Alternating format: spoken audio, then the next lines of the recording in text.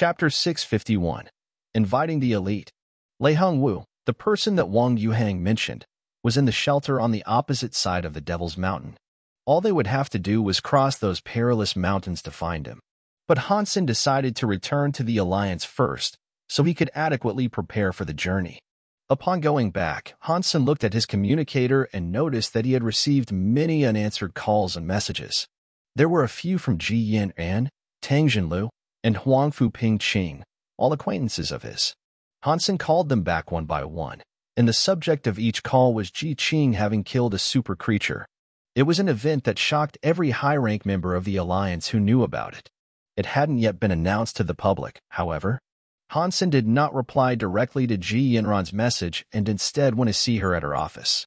Ji Yinran told Hansen that Ji Qing did indeed slay a super creature, Although the feat was achieved with the aid of an additional 300 evolvers, it was she who delivered the final blow. The super creature did not leave behind a body, only a life geno essence.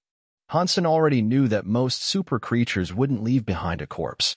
Only a few of them would, and this was one of the many traits that made the existence of super creatures so intriguing. Just like Golden Roarer and Young Golden Roarers, they were special. The Young Golden Roarer became a beast soul, different to all other beast souls. A normal riding beast soul, even if it was a super creature beast soul, would not be aggressive. But the young golden roarer was, which was different to all other mounts. Hansen did not know why super creatures had such varying traits and personalities, and it was something he thought about every day in some capacity. Now, the whole world was still discussing the existence of super creatures. But Hansen knew this was just the beginning, and if the Alliance were to make the announcement, things would only get crazier and crazier. Although Ji Yinran did not tell him exactly, Hansen knew that the Ji family would announce the news. They would proudly proclaim that the Ji family were the first to ever slay a super creature, and that it would be written down in history. It would be a great help for Ji Ruojian when he asserted his position as leader of the alliance. Although Ji Ruojian would gain numerous other benefits from this event, it practically guaranteed his election. It was a most honorable thing, after all. Before Hansen returned to the shelter, he called Zhang Danfeng and talked for a while, too. Zhang Danfeng had almost managed to max out his sacred Geno point level. Hansen told him about super Geno points so he could prepare for more progression in the future. Hansen was no stranger to the road that wound its way up and over the Devil's Mountain. It wasn't likely bad things would occur on his passage, but just in case, he brought Zero and the Silver Fox with him. After all, Wang Yuhang was also coming. God knows what would happen with him in tow, especially here on the Devil's Mountain. It was a mystic range, shrouded in a fog of unanswered mysteries and the unknown. It was said many terrifying monsters lurked in the crevices and valleys, occupying the lesser tread trails in anticipation of any unfortunate ramblers. They exercised much caution along the way, and Wang Yuhang said the less he tried to aggro monsters, the less likely they were to suffer bad luck. With the silver fox there, they hadn't met a single creature. And so far, Wang Yuhang's miserable luck had yet to sour their course. Zero was clad in a white battle suit, holding the silver fox. She looked really cute, and even Wang Yuhang said she was the most adorable girl he had ever laid his insatiable eyes upon. Hansen quickly pulled Wang Yuhang away from her. The last thing he wanted was his creepy uncle getting close with Zero. They had reached the other side of the mountain when Wang Yuhang took the lead, bringing them to Devil's Shelter. There, they met with Lei Hongwu who had just arrived, himself. Old Lei. Wang Yuhang opened the door to the man's room and started waving to a burly old man who looked like a jaded tower built of steel. Yuhang, why are you here? The strong man, after seeing Wang Yuhang, changed his initial look of displeasure to one of forced happiness. Old Lei, I have come here to look after you. I have recently become a member of a most talented team that is preparing to hunt down super creatures, Wang Yuhang explained, with great enthusiasm drenching every syllable. Lei Hongwu looked surprised. Not about the super creatures, though. He looked at Wang Yuhang with eyes of disbelief and asked, You? You joined a team that tasks itself with hunting super creatures? Everyone who had ever met Wang Yuhang quickly met the bad luck that followed him, as well. To hunt with Wang Yuhang was almost a guarantee of terrible things happening. Other people had actually taken advantage of his bad luck as well, to attract certain monsters. But the problem was, most, if not all, the creatures he attracted were too strong for any ordinary team to handle. As such, every hunt alongside the man resulted in absolute disaster. With an almost certain chance of losing everything each time, no one dared hunt with the man anymore. Yes, and allow me to wax lyrical in regards to the team I have joined, for it is quite possibly composed of the most talented warriors to be found in these lands and beyond. I have come here in the hopes of inviting you to join our ranks, on account of us being old friends. If you join us, we are sure to become the first team that kills a super creature here in the second shelter. Wang Yuhang was selling the team as well as anyone could. Whose team did you join? It cannot be one from your Wang family, surely. Lei was seemed to be convinced by what Wang Yuhang had told him. After all, a team that was willing to accept a man like Wang Yuhang had to be quite remarkable. Come, Allow me to introduce you to Mr. Bosman Han Senator. He is incredible. He can slay super creatures all by himself. If the super creature we fought had not escaped, we would have been the first to slay one and rob Ji Qing of her snobbish thunder. Wang Yuhang did not bluff at all about this statement. Hansen? Lei Hongwu frowned as if he was straining his mind trying to recall if he had ever heard of this person. There is no need to think that hard. Ji Ruozhen is Hansen's father-in-law. Wang Yuhang could see his interest suddenly begin to wane, so he blinked to prompt Han Hansen into saying something. Lei Hongwu's face suddenly lit up in surprise. After Wang Yuhang had introduced them both, Lei Hongwu invited them all into the room proper so they could discuss the team in greater detail. Leader Han, I am curious to know if there are any other prestigious members of fame or notoriety on your team. After Lei Hongwu unlocked his gene lock, he didn't want to join any team, guild, or faction right away. He wanted to wait and join a band of closer, more powerful individuals. If Hansen was Ji Ruozhen's son-in-law, Lei Hongwu considered him a family member of the Ji family no matter which way it was cut. The Ji family already had Ji Qing, a certified super creature slayer. Although that was in the first shelter, it must have still been quite the feat and show of talent. As such, he wouldn't decline the proposition of being invited onto a team of the Ji family.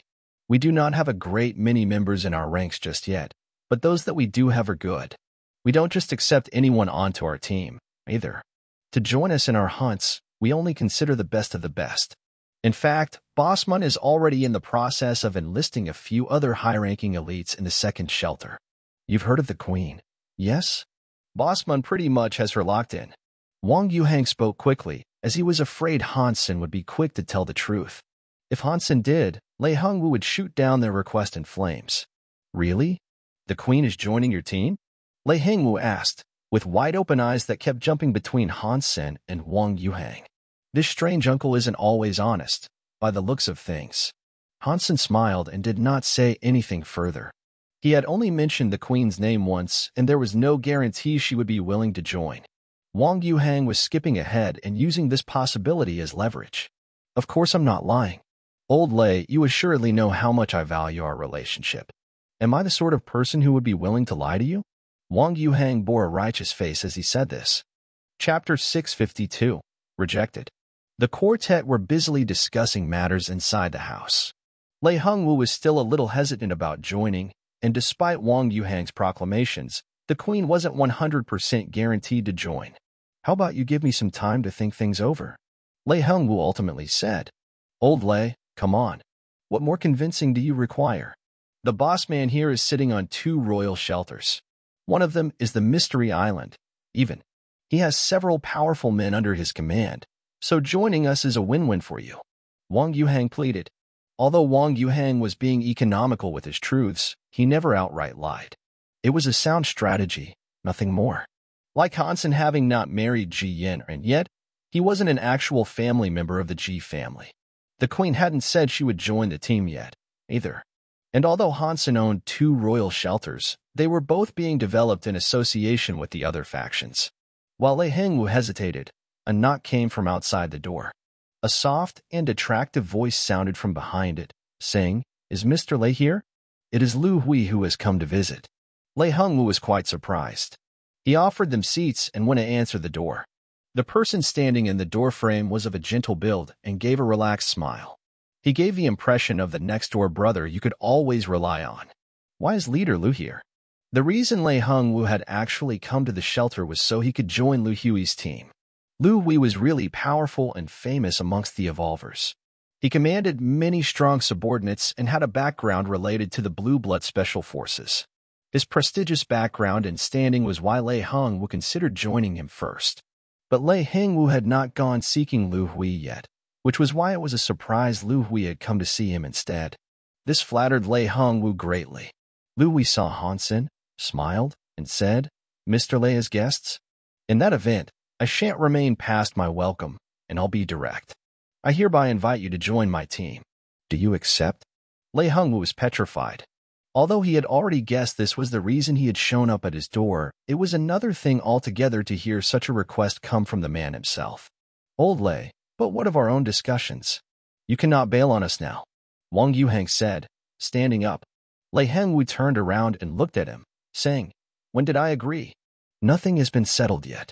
Wang Yuhang's mind frantically raced for something to say, but Hansen stopped him. He stood up and said, Mr. Lei, we would really appreciate your presence on our team. And I promise you, the chances of us slaying super creatures are extremely high. Therefore, I hope you will be willing to join us. Lei Hongwu stuttered. Both sides had their merits and both offered strong reasons for him to join. Therefore, he was unable to make a decision so rapidly. Hansen? I have heard of your name. I am Lu Hui. Lu Hui walked in front of Han Sen and presented his hand to him, smiling. You are the Blue Blood Devil leader? I have heard of you. Also, Hansen reached out his hand to shake Lu Hui's and felt the strength of the man's fingers. If it is possible, I would appreciate your presence in my team, as well. No matter the cost. Provided you are willing to join, I am willing to accept any of your own terms and conditions. Lu Hui asked with genuine sincerity, looking at Hansen. I thank you for your invitation, but you took the words right out of my mouth. I was about to tell you the same thing, Hansen said. They both eyed each suspiciously for a second and then looked away. Hui smiled and responded, Mr. Lei, whichever team you end up selecting will be a fine choice. Of course, if you do decide to join mine, I am willing to provide you a few additional benefits as a prize for picking the correct answer. After that, Lu Hui presented Lei Hongwu a contract to gaze over. As he looked at it, his face dropped with shock. Leader Lu, is this for real? After you sign it, yes, Lu Hui softly replied. Old Lei, whatever conditions he offers, we will do the same but better. Wang Yuhang nervously proclaimed. Hansen then pulled out his contract to show Lei Hongwu and said, This is our team's contract. The terms and conditions are there in full. Please, take a look. Wang Yuhang looked quite anxious now because he had already signed the contract and knew it was hardly fair and quite frankly, unappealing. There weren't any benefits to attract people, either. Lu Hui had presented a contract laden with gifts. With Lu Hui's reputation backing it, it was something quite difficult to turn down. As expected, Lei Hongwu returned the contract to Hansen after a good look, apologized, and said, Leader Han, I must apologize. The reason I came to this shelter was in the hope of joining Leader Lu's team. He has also been gracious enough to offer me an abundance of benefits and gifts if I joined him. That's okay. Hansen smiled. He stood up and prepared to leave with those who accompanied him. Wang Yuhang wanted to say something else to Lei Hongwu, but Hansen stopped him. Leader Han, I hope one day we will be able to work together, Lu Hui said with a serious tone when Hansen walked past him. We will. Hansen did not hate this man. It was a competition, and he lost out, fair and square. They left Lei Hongwu's house, and with a depressed look and tone of voice, Wang Yuhang said, that old Lei is no good. He didn't show me any respect. Hansen smiled and said, I think Lei Hongwu is afraid of you, and that's why he didn't want to join our team. How can you blame me for this? It's all because our contractual benefits are worse. Wang Yuhang said this, but in his heart, he did truly fear that it was his own presence that made Lei Hongwu unwilling to join. It will be too difficult to pull people away from big factions, no matter what we do. How about we instead walk around the market? It didn't really matter to Hansen that they were unable to enlist Lei Hongwu. The most important reason for him to be at the shelter was the potential purchase of a sacred blood T-Rex beast soul. From what Hansen could see, although Lei Hongwu was strong, he was simply strong. That was it. There was nothing inherently special or unique about him, and so Hansen did not consider him a primary choice, anyway. Even if he was a really useful person, Hansen wasn't willing to treat any team member better than the others. He wanted everyone to be of equal importance. After Hansen had gone, Wei looked at Lei Hongwu and asked, Why did you not choose Hansen? Lei Hongwu, with a wry smile, answered, I am aware of who Hansen is. He is strong, yes, but he lacks support. I felt bad to reject him, with Wang Yuhang here. And besides, with that man's miserable luck, I cannot imagine how they might ever fell a super creature. Lu Hui was the boss of this area and the shelter was at the center. The population here was far healthier than the ice fields. The big markets were always super crowded. It would take the trade rates of 10 goddess shelters to match the trade rate of this place. If we can establish a proper trade route across Devil's Mountain, perhaps it would aid in the development of the goddess shelter. Hansen thought to himself, despite the difficulties a project such as that would pose. Hansen alone had met two super creatures on Devil's Mountain. If he did want to develop a tunnel that led beneath the mountain and out the other side, no one had the resources necessary for such an undertaking. He walked around many Beast Soul stores and eventually found a suitable Beast Soul. The T-Rex Beast Soul was a rare type, too. Chapter 653. I'll buy it. It was a black T-Rex Beast Soul. Its name was Rex Spike. It was a heavy metal weapon that was about two meters long. From the booklet provided, the weapon looked like a giant umbrella that was folded. The end was sharp, and it had a hilt at the bottom. It was a violent and visceral heavy metal weapon. It was two meters long, and the handle was 50 centimeters long. The front was sharp and serrated, and from afar, one would guess it was a strange great sword or medieval lance, but not quite. It was weird, yes, but it looked like a cruel and merciless weapon. Without a moment's hesitation, Hansen wanted to purchase that weapon. He liked it a lot, due to it being both heavy and long. Going up against a super creature with something like this, with a bit more range, was far better than using a puny dagger. It was a black T-Rex beast soul, but he could not tell if it was associated with the element of fire. To Hansen, though, what he saw was enough to prompt him to buy it at once. The beast soul was cheaper than the other sacred blood beast souls available, too. That was primarily due to the fact that this weapon type wasn't all that popular. He could use it as a lance, but the handle was too short. That was okay, though, because most lance skills could not be cast with Rex Spike, anyway. He could use it like a sword, but the blade did not look like a traditional one, which would prevent him from casting sword skills with it. Additionally, the weapon was so heavy, ordinary evolvers would not even be able to lift it. Due to these issues, the price had been reduced and Hansen was more than happy to buy it at the price listed, without needing to haggle. After all, it was rare to see T-Rex be souls of a weapon type. It was a heavy weapon, too, which was something that would be useful for Hansen. If he'd had a Super Rex spike when he went to hunt the Firescale T-Rex, he wouldn't have had as much trouble as he did. After buying the Rex spike, Hansen no longer had any need to peruse the markets. He left and went to find a place he could stay. When he was in his room, he observed the Rex Spike and Gem Beast Soul intently. They are both Rex type. Aside from the fact that the Rex Spike has no wings, the similarities in design and appearance are striking. Although it may not have a fire element, the success rate should still be high, right? Hansen gritted his teeth while he mulled over the question. He did not want to overthink things, so he immediately attempted to combine the Gem Beast soul with the Rex Spike. God, Buddha, Goddess, Mary, Jesus, and Muhammad, bless me with your divinity. I only have this one Super Gem Beast soul. Throughout the entirety of my life, this is the only one I have ever managed to get. So, please, help me. Hansen's heart prayed intently to every god and religious deity he could think of. Inside the gym, he watched the image of the mini Firescale T-Rex be attracted and absorbed into an image of a black T-Rex. Then, the black T-Rex roared to the sky as its body underwent a transformation of some kind. The black scales of the beast became dark red. The body began to smoke and the talons increased in sharpness and thickness. Its head also grew in size. Overall, the T-Rex looked to be considerably stronger. Roar.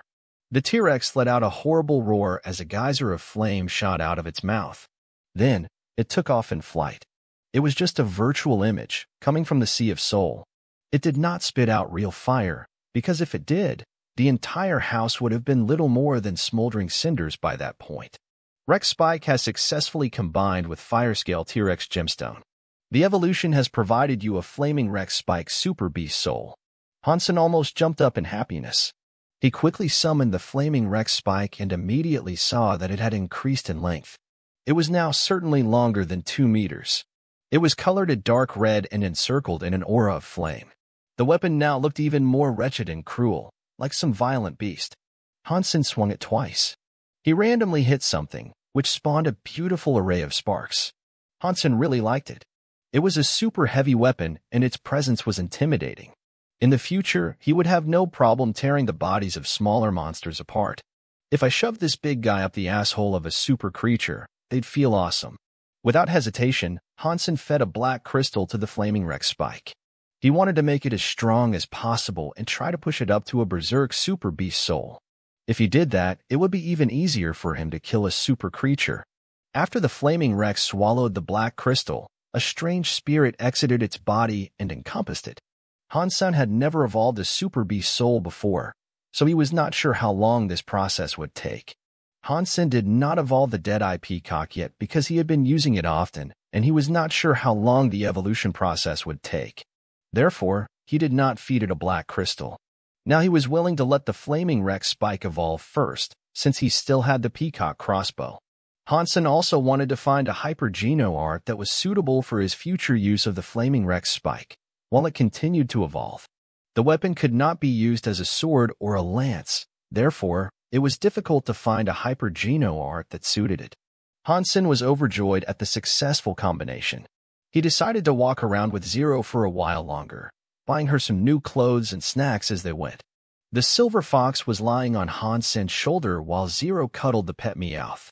The contrast of black and white pets side by side was a charming sight. Those pets are so beautiful, Honey, look. A woman with big boobs pointed at Hansen in delightful surprise. I will buy it. The man near her was really calm, and when he softly spoke the sentence, the woman became ecstatic. Oh, honey, you are so good.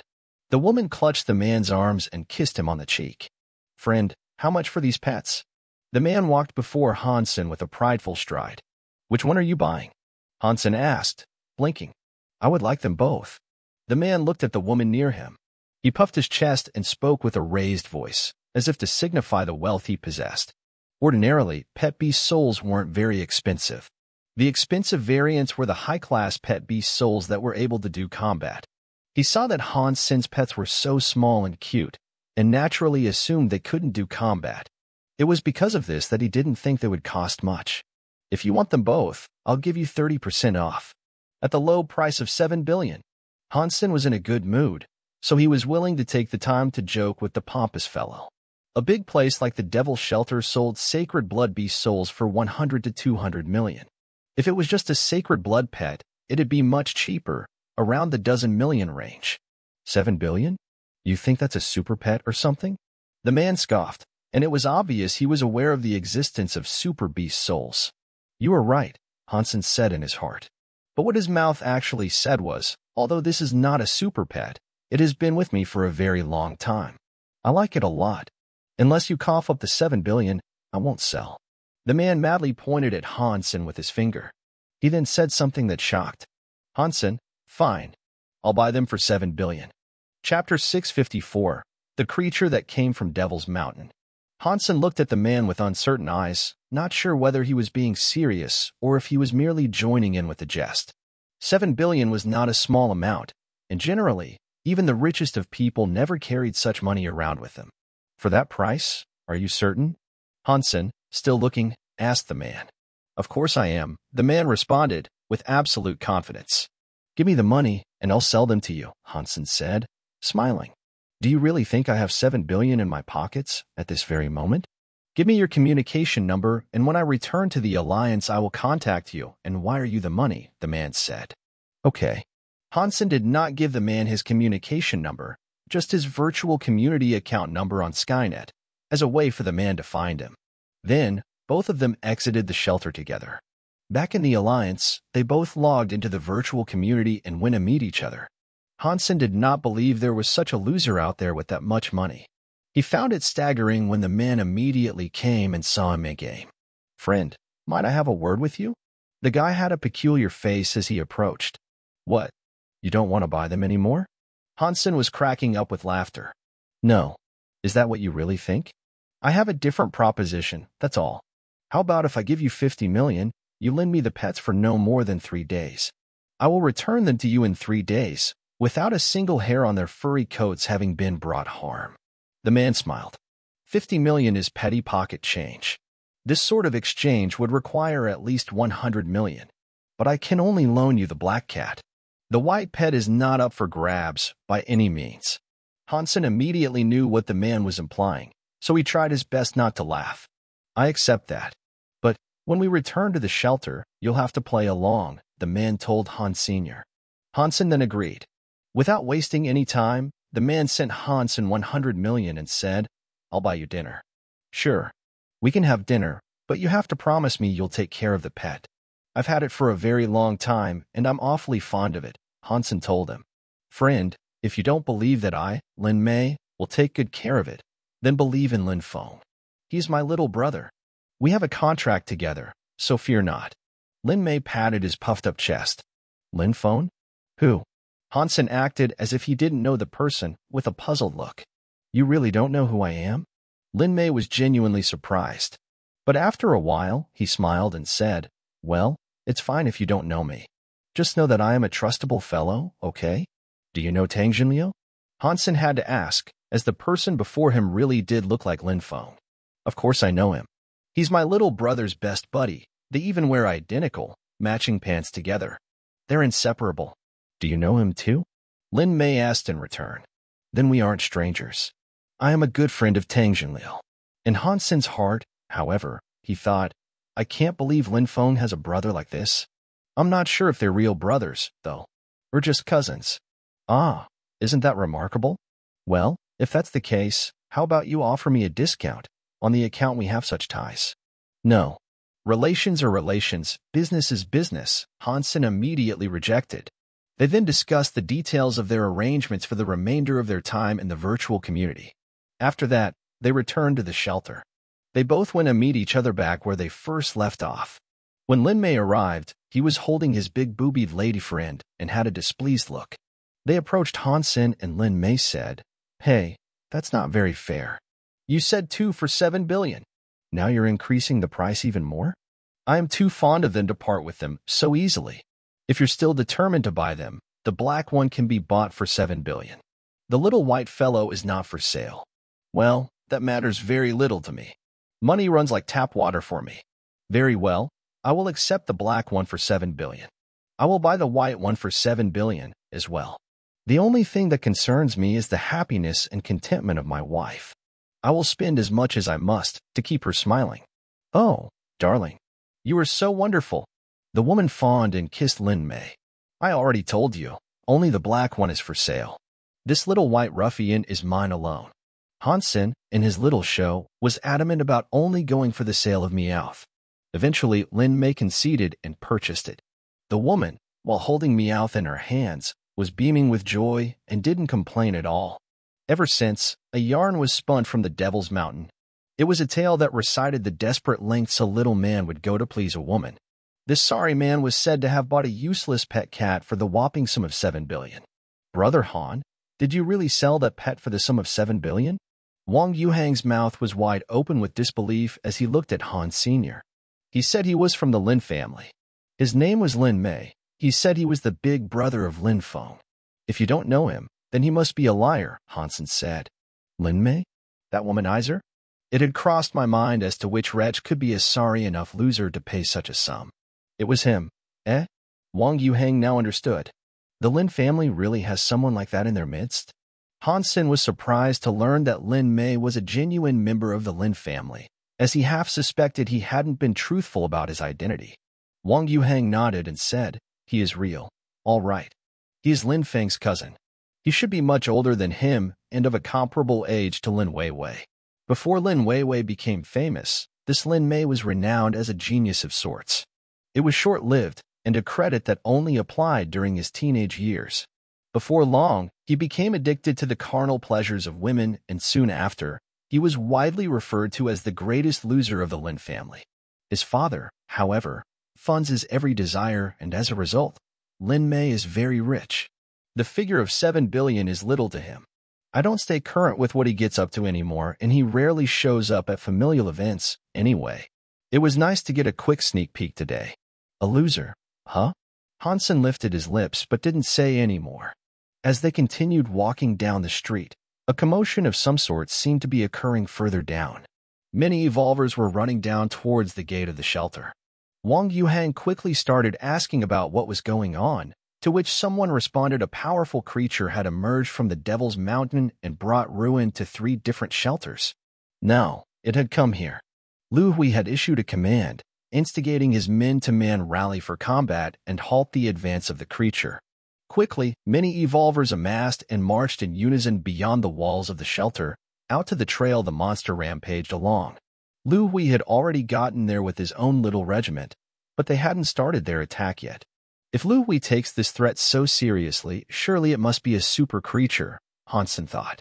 Then he turned to Wang Yuhang and told him, we should go check it out, too. They exited town, and when they reached the plains of battle, countless evolvers were gathering. There were also other people in their midst, who seemed to have arrived just so they could enjoy the coming spectacle and watch the battle with glee. After walking a dozen miles, they heard the trumpeting of a loud elephant. Hansen said to himself, Is that the white-bone elephant from the Devil's Mountain? The same thought coursed through Wang Yuhang's mind. They both turned to look at each other, with a look fright on their faces. The white-bone elephant was far too terrifying a foe, and in one mouthful, it had gobbled up a berserk sacred blood creature. It was undoubtedly a monster from the upper echelon of super creatures. With its hulking size, stopping its approach would be no small feat. They walked forward for another few miles before they saw it. A white-bone elephant was hastily marching down the trail, producing tremors with each step. The humans around it were like ants. Chapter 655 Berserk Super Creature. Lu Hui was quickly realizing that the bone elephant was indestructible. He called for his archers to fire arrows at it from another direction, in an attempt to at least draw its attention away from its current course, so it could be led away from the devil's shelter it currently was galloping towards. If it reached the shelter, the shelter would be destroyed. The mounted bowmen were directly under Lu Hui's command. They started provoking the bone elephant with a tight, tidy formation that shifted and weaved its way to the accompaniment of a drumbeat. Near Lu Hui, bannermen often shouted and gave commands to precisely position the soldiers. Hansen watched the battle unfold from a mountain peak. He sighed and said, That is a real battle commander. I can effectively command around 10 people. But for a fight like this, with 20,000 soldiers hinged upon my fingertips and vocal cords, there is no way I could keep up. This Lu Hui is a remarkable character, Hansen observed Lu Hui's command intently. The more he watched, the more interested he became. Everything in this world was connected, so one method could be used in a number of different situations. The art of Lu Hui's battle command was educational for Han Senator. He compared the spectacle to the Dongxuan Sutra and felt as if he was learning a lot. In past commands, Hansen had looked for the details of a formation, which meant he paid attention to the most minute details. He could control 10 people to adapt a situation to suit his exact needs. But this sort of battle was taking place on a far greater venue with far more actors playing a role. Lu Hui was a conductor for the play at large, and his commands were dedicated to the stage itself, and not the precise hemming of its curtains that Hansen would pay attention to. It showed another side of command to Hansen, and it made him enthusiastic to watch. No wonder he is the Blue Blood Special Forces leader. With his command power, he is by far the most talented. It is no wonder he is able to control the entire faction, Hansen complimented Lu Hui. But Wang Yuhang, who was near Hansen, then said, If you want to expand the goddess army, Lu Hui and the person in the north will be your greatest enemies. You are right. And as powerful as Lu Hui is, I can only suspect that the person in the north is of comparable might. Expansion of my army might prove to be a controversial problem. Hansen paused for a brief while, but then smiled and continued to say, But we are separated by the Devil's Mountain. It's only a matter of time before this hurdle between shelters is conquered, but still, I suppose it is too soon to think about such matters. Many riders had splintered off into smaller groups and fired arrows at their foe from varying directions altogether. The arrows themselves did not deal any damage to the bone elephant, but they did enrage it. It continued its rampant stomping in an attempt to squish any hapless, unlucky humans that it could catch underfoot. It was a fierce super creature, yes, but it wasn't all that fast, and it wasn't all that smart, either. It was easily being kited by the archers that circled it on their mounts, resulting in the bone elephant spinning around like a headless chicken trying to catch them. Not a single fatality had been suffered. The more Hansen watched, the more interested he became.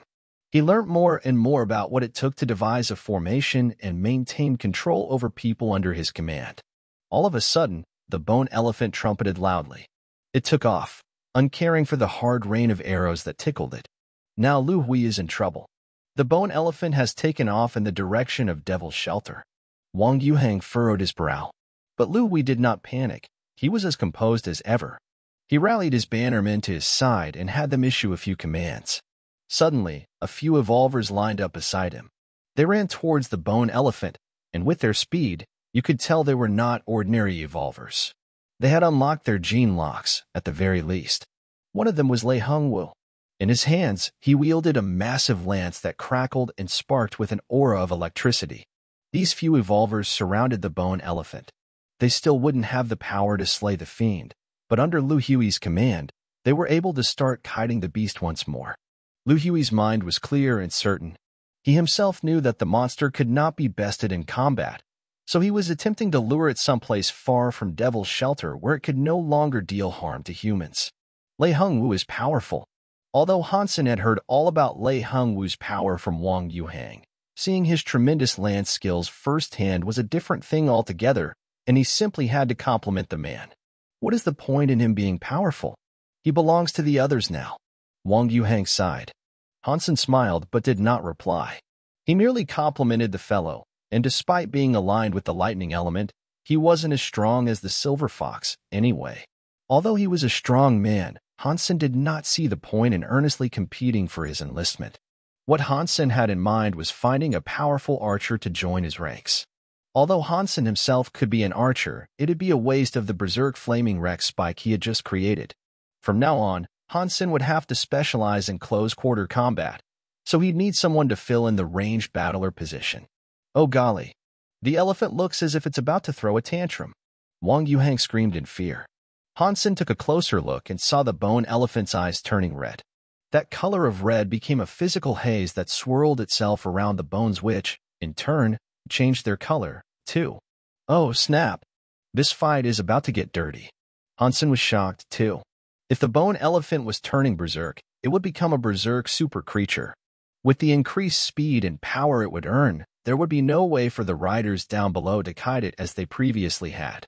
They would be squished into jelly, forming a river of blood. Hui took notice of this sudden, frightening change as well. His face finally showed a flicker of emotion and a blue aura of light emerged from his body.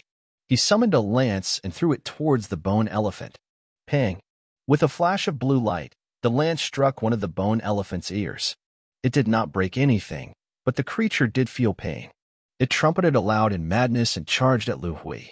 Lu Hui was shouting at his army, commanding them to assist as he took supremacy in leading the bone elephant off into the wilds. Roar. The bone elephant only took a few steps before it gave up chasing Lu Hui. It turned around and fixed its gaze back on the devil's shelter. It was starting to look like something was attracting it there. At this point, the skull and trunk of the elephant had become bright red. It wasn't blood, it was the red color that seeped from behind its eyes. Curse it.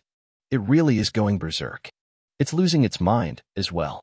It doesn't even care about the attacks from Lu Hui and his people. It seems to be heading for the shelter, at all costs. Hansen frowned.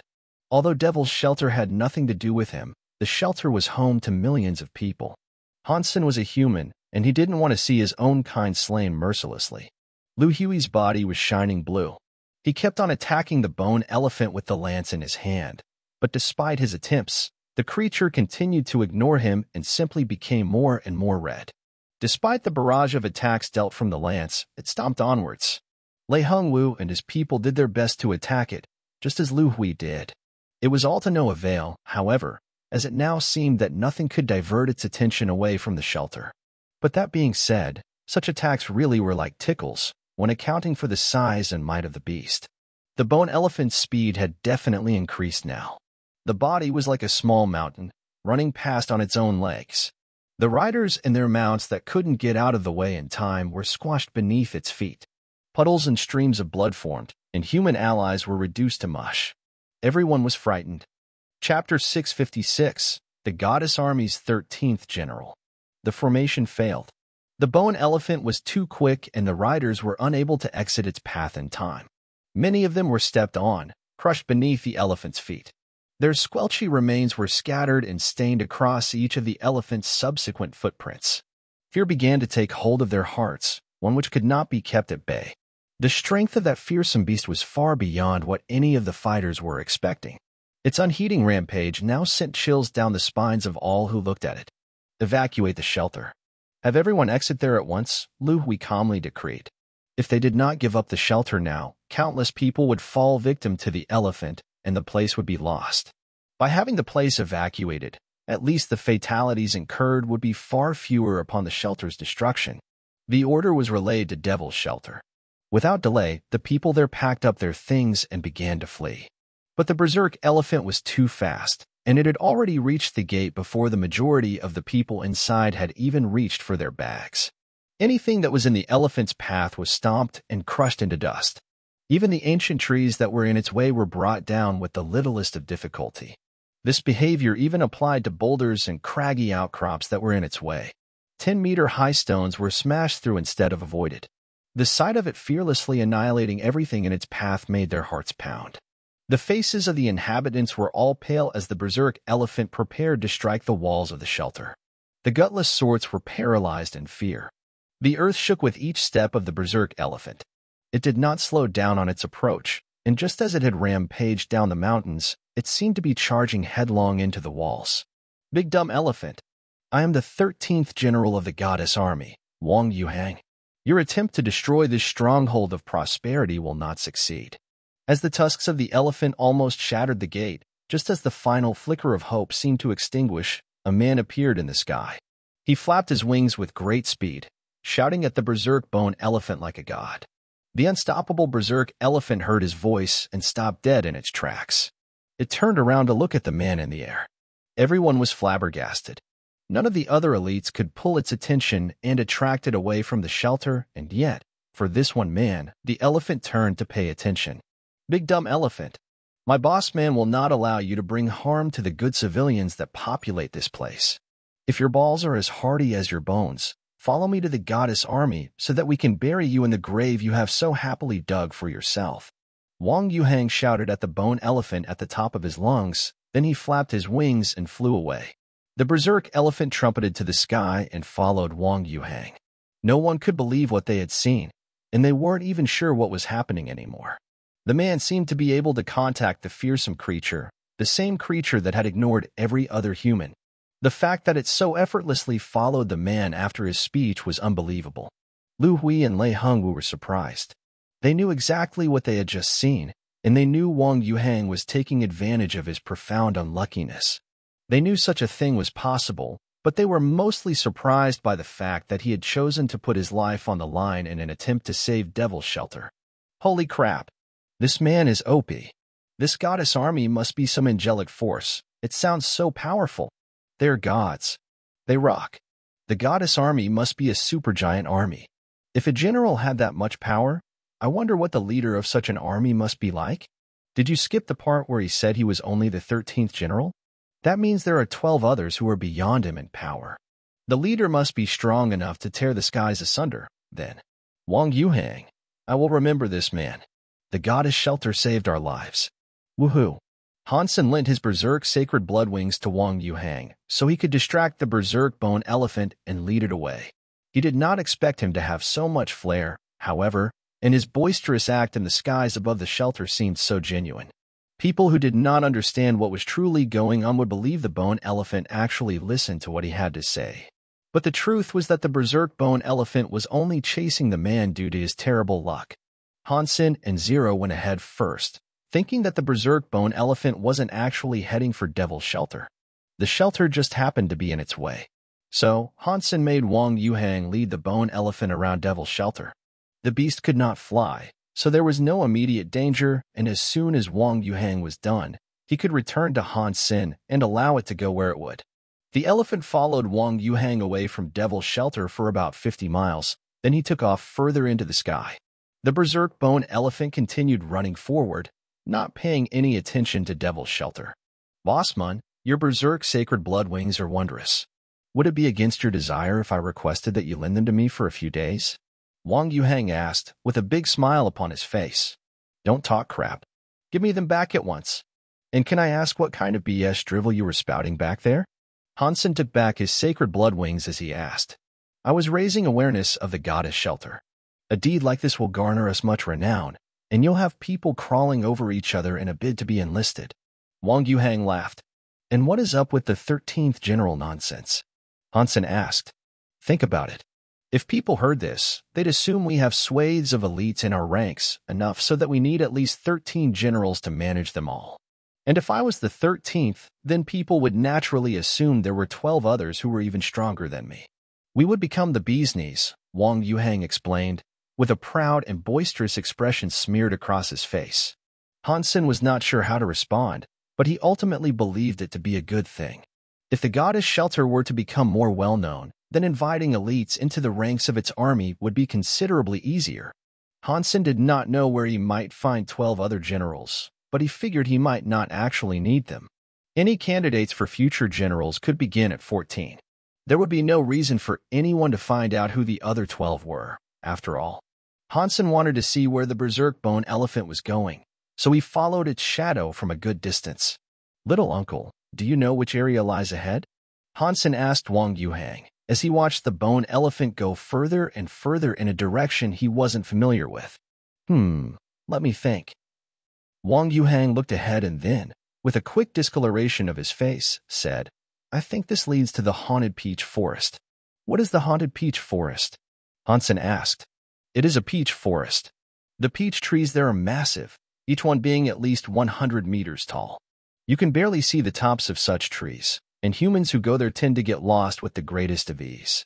Furthermore, countless frightening monsters lurk beneath its boughs and many who enter there do not return. After a while, Wang Yuhang lowered his head in thought. Then, he said, Fortunately, this is the season of the peach flowers opening. It isn't the season of peach production, so it shouldn't be too dangerous. Why is that? Hansen looked confused. During the season for peaches, many powerful creatures visit there for a taste. That would also be the most dangerous time to even think about approaching the haunted peach forest, Wang Yuhang explained. But now it is the flower opening season, correct? If the elephant was hungry for peaches, why would he be heading there now? Hansen furrowed his brows. Chapter 657 The Holy Statue Under the Peach Tree The peach forest was red, like the blush of a young lady. The place seemed to go on forever, and it was filled with the energy of youth. When Hansen walked into the peach tree forest, he was quite surprised. All the peach trees had dragonflies flying around them. The pink flowers on the trees were wide open and rivers of them flowed down to the ground in harmonic beauty. The scent of the flowers could be smelled from far away, and the sweet fragrance brought a smile to the faces of all who encountered it. It was like the scent of a young lady. The berserk bone elephant did not care for anything in its way, and it continued to beeline straight for the forest. As it approached the eaves of the tall boughs, however, it slowed down. It didn't blusterously stomp its way through the forest as it had on its way there. It tiptoed gently and lightly around the trees, venturing as quietly as it could, as if to avoid waking up a sleeping beauty. The berserk bone elephant's red hue started to rescind and go lighter, which surprised Hansen and Wang Yuhang. Never before had they seen a creature revert back from a berserk state. It looks like the bone elephant didn't truly become berserk. It must be some sort of ability that it possesses, Hansen said, as he pondered the curious trait. I suppose you're correct. Should we enter? At the edge of the forest, Wang Yuhang looked in, but did not dare take a step forward. How about this, little uncle? You return to the shelter and wait for us. We will take a look. Hansen was worried something might happen if Wang Yuhang accompanied him. Sure. Wang Yuhang quickly agreed. He turned and took off running to Devil's Shelter without looking back. Hansen thought it odd, as he'd never seen him demonstrate such haste before. Having thought about it some more, Hansen understood. Earlier, Wang Yuhang appeared before everyone in Devil's Shelter as a glorious savior of the people. Now, he was eager to finish the show. Hansen wiped the cold sweat from his forehead. Wang Mingming's little uncle was a legendarily strange man, with no equal in the entire world. Do you want to go back and wait for me too? Hansen looked at Zero, who didn't say much. She just stepped closer to Hansen, signifying she was keen to continue. Hansen, without saying anything more, walked into the peach forest with Zero by his side. With the silver fox accompanying them, it was unlikely they'd suffer much trouble. If a creature were to encounter them, it would most likely run off. The blood-red color that tainted the bone elephant's appearance had now entirely faded, with its bones turning to their original gray and white color. It was still walking incredibly slowly, as well as if it was afraid to damage the trees. Because it was going at this pace, Hansen and Zero could follow its passage with ease. The peach forest was massive, and it was impossible for them to be certain of how big it was. They followed the elephant for a whole day, and the environment did not change much, as vast streams of flowers continued to drape the sides of the trees and color the forest floor. The elephant continued to tread softly, as if it was walking through a sacred place and was afraid of making it dirty. Hansen constantly looked around, but he only saw trees and flowers for as far as his sight could reach. There didn't seem to be anything inherently special about the peach forest, from what he could tell. They hadn't seen a single other creature on their way, either. Even with the silver fox by their side, they should have still been able to see some or notice signs of them having been in the area. The entire time, since they first entered the forest, the elephant was the only creature they had found. Hansen activated his gene lock every now and again, using his senses to assess the surroundings and analyze whether or not there were any dangers in the vicinity. Despite his best attempts, there was nothing. The silver fox could not discover anything, either. Quietly, it continued to lie in Zero's arms. The moon was in the sky, and under the moonlight, the ocean of peach flowers looked even more beautiful. When a breeze danced between the trees, it rustled the flowers as petals submitted themselves to the pull of the wind. As gorgeous as it was, the entire affair seemed somewhat surreal. Hansen and Zero both sat upon Golden Roar. As she sat graciously between the rain of flowers and petals, Zero's pretty face graced the view as a mesmerizingly beautiful image. Hansen could not help but pick up one of the flowers and place it in her hair. Now, she was perfect. Now you were even prettier. Hansen looked at Zero, who almost seemed to be one with the flowers. He was not sure whether her beauty was accentuated by the flower, or if the beauty of the flowers were accentuated by her presence. Zero, who had always appeared emotionless, started to look red in the cheeks. This made her even prettier, like some fairy that lived amidst the peach flower trees. The bone elephant, by this point, had been wandering through the forest for a few days now. Just when Hansen started to feel lost in the seemingly endless peach forest, he suddenly saw a giant peach tree up ahead. The trunk of the tree was bigger than the rest, leading upwards into the heavens. The flowers that graced and decorated its body spread out at the top like stars in the sky. The bone elephant seemed to be heading towards the tree. What is this strangely big peach tree? Hansen observed the peach tree from afar and couldn't believe its size. He did not sense any danger, and neither did the silver fox. All the silver fox did was stare at the peach tree, and all Hansen could do was wonder what it was thinking about. Since they were here already, Hansen wanted to see what the elephant wanted. Hansen followed the elephant, but stayed a safe distance away from it, not daring to get too close. The giant bone elephant was heading straight for the perplexingly huge peach tree. As it approached, the massive elephant didn't look so big anymore. The elephant walked beneath the boughs of the tree gently and knelt. Then it kowtowed before the tree, lowering its head as if it was praying before it. Hansen was frozen. He did not believe that a super creature like this, a monstrous elephant no less, would pray in front of a tree. It was unbelievable. What is this strange peach tree? Does something more powerful than a super creature even exist? Why would the elephant adore the tree and show so much respect? Hansen was puzzled. He watched the bone elephant kowtow before the tree for a very long time. But what happened next was even more unnerving. Under the moonlight, the bone elephant sat beside the tree in a human pose. With all the flowers flying around it, it appeared to be meditating. With the forest lit with the moonlight and the flowers and petals continuing to skate the breeze, the bone elephant's body started to resemble the flowers from the peach tree. Then, it started glowing. The gray and white bones now looked like jade crystals, which seemed to exude a holy light of some sort. Even the red eyes of the elephant seemed to fade away, and it didn't seem as if it wanted to kill anything anymore. The whole bone elephant was like a sacred Buddha beneath the peach tree, with a halo of divine light coming from it. What is going on here? The longer Hansen watched, the more confused he became. Chapter 658 The Child of a Super Creature The bone elephant continued to sit beneath the tree without moving. A while later, Hansen heard a noise come from deeper within the peach forest, a sound that seemed to be coming their way. It wasn't long before it appeared. It was a small pink snake, slithering towards the giant peach tree. Quietly, it rested against the base of it. A blue tiger appeared from another direction and also sat down near the tree. Wings could be heard flapping in the sky, and looking up, a red-crowned crane was descending to the ground near the tree to join in with the other creatures. And soon after that, a black bear arrived, carrying a cub. It also sat down near the bottom of the tree. In a short amount of time, many creatures had gathered at the base of the tree. Hansen was shocked at what he was seeing, particularly so due to how special and unique they all looked. He thought they might all have been super creatures. Hansen did not know why they were there. Was something from the peach tree attracting them? During Hansen's confusion, the silver fox jumped out of Zero's arms and trotted over to the big tree, too. Hansen was perplexed. He thought that the peach tree might have been emitting a pheromone to attract the creatures towards it. After taking a few steps forward, the silver fox turned around and nodded its head to Hans Senator. It looked as if it wanted him to follow. He was hesitant to comply, due to how many powerful creatures gathered up in one place and how dangerous it would be for him to go. Again, the silver fox flicked its head. Although the creatures were now undoubtedly aware of the silver fox's presence, they didn't bother doing anything about it. They hardly even looked its way. For the third time, the silver fox gestured for Hansen to join it. With gritted teeth, Hansen slowly withdrew from his shelter and tiptoed his way towards the peach tree. Hansen went forward as cautiously as he could.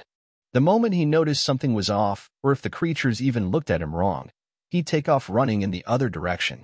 Zero, to his surprise, was less fearful. With glee, she ran to catch up with the silver fox. They were out in plain sight, before the creatures near the tree, but nothing happened. The creatures simply continued to sit where they were. With his heart playing hopscotch, Hansen followed the silver fox to the tree. After choosing a spot, they sat down near it. Aside from the bone elephant and the two bears, they were closest in proximity to the actual bark of the tree. Two meters away from Hansen was the black bear. Although it was not as big as the bone elephant, it was at least 10 meters tall. Although it was kowtowing, it was like a giant truck, and its breathing was loud. This was the first time he had ever gotten so close with a creature outside of combat. It made Hansen feel quite wonderful, as not a single creature showed any sign of wanting to attack him. All the creatures here had become animals, fond of peace. No matter the species or breed, they had all come together to kowtow before the tree. The silver fox was lying on the ground that had been dressed in loose flower petals. It closed its eyes and breathed calmly with a mellow rhythm. It was something Hansen had seen before. After practicing Dongxuan Sutra, he would always see the silver fox in such a fashion, for a brief while. The other creatures weren't too different. While they all lay down, they each breathed with a calm, unique rhythm. Does this strange peach tree provide boons and advancements to one's training? Hansen wondered to himself. After a while, Hansen decided to try to practice Dongxuan Sutra. Hansen began training and felt as if there was a special energy being absorbed into his body by the Dongxuan Sutra. The pace of his Dongxuan Sutra sped up, as if it was reacting to the strange energy. This really is something special. Hansen continued practicing, and eventually, his body began to produce a pleasant smell. The scent combined with the fragrance of the peaches and began to permeate the atmosphere. When Hansen finished a cycle, he noticed that his Dongxuan Sutra had improved far more than it usually did. This surprised him. But when Hansen looked at the other creatures, he was surprised. Perhaps it was because the fragrance combined with the scent of the flowers. But when he saw the silver fox again, he could actually see the energy inside him. He could see the pleasant smell inside the silver fox that had not been refined yet. Hansen looked at the other creatures and was even more surprised. Many creatures were in the area, and it seemed as if they had all absorbed the pleasant fragrance of the Dongxuan Sutra. Strangely, they all seemed to have a different reaction to its absorption. The pleasant scent inside the pink snake, the blue beast, the red-crowned crane, and the big black bear was all blurry, being absorbed by their bodies. But in the cub and the bone elephant, Hansen saw that the energy was flowing inside them in a rhythmic beat. It looked like a human qi gong. That's not right. The black bear and the cub are of the same kind, so why the difference between the two? Hansen was shocked while looking at what was going on. Not long after, Hansen's pleasant fragrance had been refined by the cub and bone elephant. The crane and snake were continuing to refine it slowly, but Hansen could still sense it inside them. Hansen looked at the gourd in his hand. It was already used to absorbing Hansen's pleasant smell, and by now it had already refined the scent. Hansen continued to observe the other creatures and then had a horrible thought. It did not matter whether it was the silver fox, the black bear cub, or the gourd in his hand. The elephant was the only creature he was not sure about. Creatures were usually birthed by their mothers, not their nests. The silver fox, the cub, and the gourd were spawned in their nests, whereas the others had been birthed by their mothers. That made Hansen think back on the golden roarer. He wasn't sure about the big golden roarer, but when the small one died, it left behind its life geno essence and body. If the big golden roarer and the elephant were birthed by a creature, does that mean the children of super creatures are different than the super creatures themselves? Hansen theorized. But this train of thought only led to more and more questions. Why did some super creatures only leave their life essence behind and not their actual bodies? If the second or third generation of super creatures could leave their bodies, then there must have been something special inside them. Just like the silver fox and the cub, they were the children of super creatures, and it looked like they had special abilities that were different than their mothers. Chapter 659 Toxic Dragon Drill Usually, after Hansen finished a training cycle of the Dongxuan Sutra, his body would be filled up and require a cool-down period in which the energy was digested. Training more while he was still full yielded no additional benefits and was therefore pointless. But underneath that great tree, something strangely wonderful happened. After a very short while, he felt as if the energy was gone. He decided to try to practice the Dongxuan Sutra again, and, lo and behold, he was renewed with fresh power once more. Hansen began training his Dongxuan Sutra again, and before long, his body was charged up again. Hansen used this time to observe the bone elephant, which continued to look holy. The elephant was like a jade statue. Seeing it for the first time, no one would have guessed how cruel and murderous it actually was. The bodies of the other creatures were glowing as well. Hansen couldn't tell what the light was exactly. He just thought it was different than usual. Hansen watched the energy flow through the bone elephant's body and tried to record a visualization of it in his mind. Hansen did not know how long this concordant situation would last. So, he took the chance to remember how the elephant harnessed its energy in the event the technique might one day become useful. The peach flowers were open for two weeks. During that time, Hansen managed to record the energy flow of both the elephant and the cub. When the peach flowers on the trees began to wilt, the silver fox tugged at Hansen's pants and tried to pull him away from the area. Hansen felt something was wrong as well. As the peach flowers began to wilt more and more, the creatures seemed to be getting more and more restless. Hansen noticed a slight reddish hue beginning to tint the eyes of the bone elephant. It looked as if it would soon resume its murderous rampage. He didn't dare stay any longer, and so he decided to depart with Zero before anything went awry. If the creatures started to go berserk, with his small body, there was no chance he'd be able to withstand an attack dealt by any of them. For the two weeks he had been there, Hansen constantly repeated his practice of the Dongxuan Sutra. His body had been hungry for it the entire time. Having received so much additional experience training with it, his Dongxuan Sutra had greatly improved. Hansen felt as if he had just about touched the first tier of the Dongxuan Sutra, and all he'd need was some sort of extra push to get the gene lock open. Hansen had thought it would take a few years to reach this point, but his two weeks under the tree had saved a lot of time. That giant peach tree was the most remarkable of boons. If the open flowers of the tree have such a remarkable power, if it grew peaches and I ate one, I wonder what would happen. Hansen decided that when the mystic peach tree grew its harvest of peaches, he would return to this place and collect some, no matter what it took. But Hansen imagined that when the mystic peach tree did grow its peaches, there would undoubtedly be chaos. Nabbing a few peaches for himself would most likely prove difficult. The silver fox now seemed to be in a rush, wanting to lead Hansen out of the forest as quickly as it could. They only slowed down when they had moved beyond the eaves of the forest. At that point, the silver fox gleefully returned to Hansen's shoulder. Hansen could faintly hear the screams of nefarious beasts in the forest. Not wanting to hang around any longer, he ran off with Zero. When Hansen returned to Devil's Shelter, the bone elephant did not return the way it came, to the best of his knowledge. It was as if it had simply disappeared, and it was never seen or heard from again. Wang Yuhang, however, was a household name around Devil's Shelter, and many people became aware of the existence of the goddess army. They also knew that Wang Yuhang was its 13th general. The people who were not privy to the truth believed the goddess army to be an incredibly strong angelic host. They thought it was responsible for slaying the bone elephant by leading it away, saving the shelter in the process. Another two weeks passed, and the flaming Rex spike was still in the process of evolving. It looked like Super Beast souls took a long time to evolve. Hansen estimated it would take another two weeks for the evolution to complete. Back in the Alliance, Hansen considered choosing a new Hyper Geno art that would go well with his Flaming Rex spike.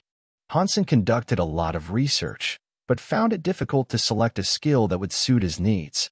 The Flaming Rex spike was neither greatsword nor lance, and he couldn't even use it like a club. No wonder the shopkeeper sold it to me so cheaply, with a quick cash trade agreement. Pa, this thing is too unpopular. Hansen continued looking at skills in the hope he'd eventually find one that would go well with his Flaming Rex spike. Hansen did not expect a perfect match, but one that was 70% would do. If he found one like that, then he'd be happy to modify it to his needs. Hansen had almost browsed through all the S-Class Hypergeno arts, from most popular to least popular without finding one that he wanted. The creepy-looking weapon was far too rare. It was a heavy weapon, and it could only be held like a great sword with both hands. If you held it with one hand, then it would require a tremendous amount of strength. It wasn't like a sword, which could be swung around quickly. This weapon was tailored for powerful, gruesome blows through lance-like thrusting or club-like crushing. But these two forms of attack were best suited to the weapons that were designed for those purposes, lances and clubs respectively. The Flaming Rex spike seemed as if it would be awkward to use. For a two-meter-long, single-handed weapon, it looked extremely powerful, but it was a shame that it was so difficult to wield. In the end, Hansen went to look for Professor Bai Ishan in the Saint Hall. Hansen drew the shape of the flaming Rex spike and presented it to the professor to see if he knew of any suitable skills for the weapon. Hold on a second. Bai Ishan went peruse further information. Half an hour later, he returned to his communicator and told Hansen, this weapon is very rare. But I do remember one fellow who created a weapon that operates similarly. It may look a little different, yes, but functionally it's the same. It is a single-handed weapon that is most suitable for jabbing or thrusting and heavy swings. The man created a skill for it, but it wasn't anything exceptional. It was only ranked as an A-class skill here in the Saint Hall. It was called Toxic Dragon Drill. You should take a look at it if you're interested. Thank you, Professor Bai. Hansen had no other choice. Being only A-class, it was far worse than Hansen expected. Professor Bai himself had told him that there were no S-class Hyper-Geno arts that suited it. Hansen returned to the St. Hall and purchased the A-class Hyper-Geno art Toxic Dragon Drill. Hansen observed it intently. Although it was only A-class, it was indeed quite suitable for the Flaming Rex spike. It mainly employed thrusts and heavy smashes. The thrusting component featured a spinning technique, as well. Hansen was pretty good with it, right off the bat. After a brief look, he was already performing exceptionally well with it. Chapter 660, Completion of the Flaming Rex Spike's Evolution. In the deep sea, Hansen punched a three-meter-long jellyfish to death and dragged it back into the Crystal Palace. An angel looked at the jellyfish's lifeless corpse curiously. Recently, she had eaten a lot of sacred blood class food and had lost track of how many creatures she had been fed from the sea. Hansen believed the angel was close to unlocking her combat mode. She had been eating less in recent times, so it had to be a sign that she was changing somewhat. Hansen thought if she unlocked her combat mode, he'd have himself a nice extra fighter. It'd be easier to kill super creatures in the future with her by his side. Although Hansen had eaten a lot more sacred blood creatures lately, his sacred geno points weren't increasing as much as he would have liked because he couldn't find any smaller varieties to kill. His sacred Geno points were above the halfway point now, sitting at a total of 51. It wasn't too far from being maxed out. In regards to the fire scale T-Rex's life geno essence, Hansen had yet to find a way in which he might eat it. As of yet, he didn't have a single super geno point. But even so, Hansen's fitness level was now over 150.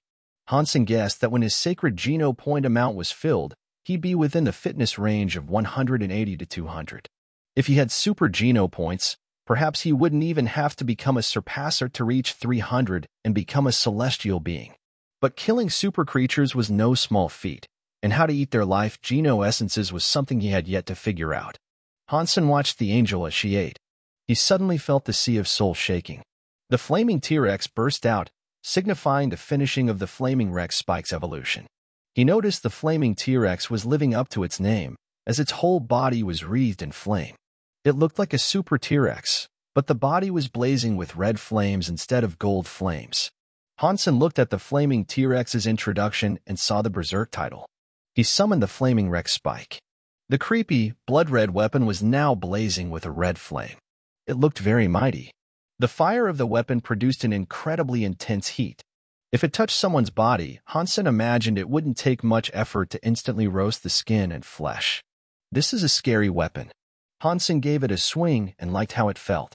It seemed as powerful as he had hoped it would be. Now that I have the weapon, I should find a super creature to test it on. Which one should I go for? Hansen wondered. It was not difficult to find a super creature. Though most of them resided in the deepest, most secluded mountain ranges, gullies, or swamps, he'd encounter one in no time if he brought Wang Yuhang along. The primary concern, however, was whether or not he could truly kill such a creature.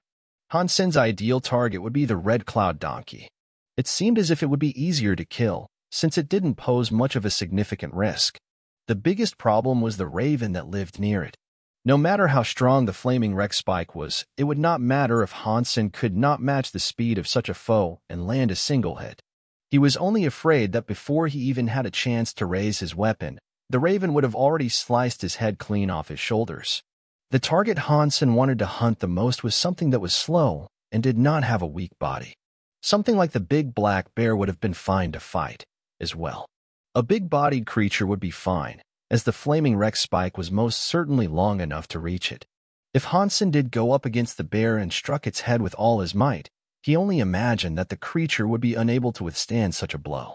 But the peach forest was too creepy to return to, and he knew more than one super creature resided below its shadowed boughs.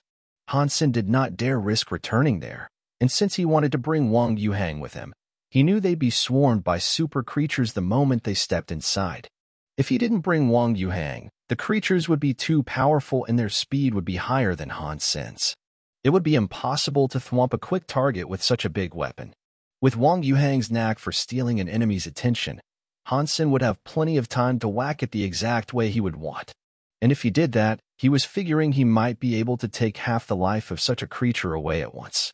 Leader, Lu Hui is here to see you. Back in the goddess shelter, Yang Manli delivered Hansen a surprise visitor. What is he doing here? There is no way he would come all the way out here to thank us for saving his shelter, would he? Hansen frowned and invited his guests in to see him. Leader Hui is so gracious, taking the time to come visit me. Hansen said, smiling at Lu Hui. I have come here to thank you for pulling the bone elephant away. There is also a deal I would like to strike with you, if you'd be so kind as to hear what I have to propose. Lu Hui smiled in return. There is no need to thank me, but I can always make room for more business ventures. Hansen noticed Lu Hui had not brought any gifts with him and was quickly disappointed. We believe we have found a super creature, but our power alone is not enough to kill it. Therefore, I would like to cooperate with the goddess Shelter and take on this monster together. Lu Hui did not beat around the bush. What kind of super creature is it? Hansen's attention had been quickly snared. It is a wolf, Lu Hui answered. What kind of wolf? Hansen frowned, thinking Lu Hui was being too vague. Hui laughed and said, It is the king of a few hundred thousand wolves. We have been unable to detect whether or not it has any elemental powers, but it is powerful, that much we do know. Its strength and speed are exceptional. A few hundred thousand wolves? A little dangerous, no?